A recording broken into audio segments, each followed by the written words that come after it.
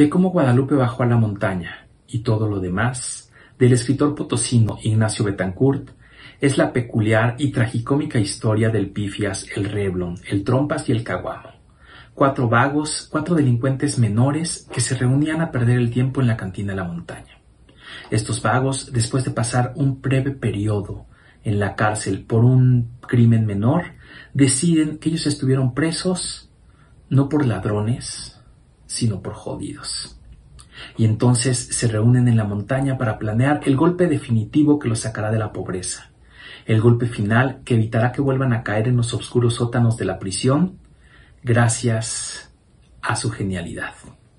Deciden entonces secuestrar nada más y nada menos que a la Virgen de Guadalupe y cobrar cinco pesos a cada fiel, a cada filigres. Es el plan perfecto. ¿Qué podría salirles mal? Este cuento de Ignacio Betancourt es endiabladamente divertido, irreverente y muy, muy, muy ingenioso. Y no se lo pueden perder en la colección Vientos del Pueblo por solo 12 pesos. Y por favor, si pueden, quédense en casa leyendo.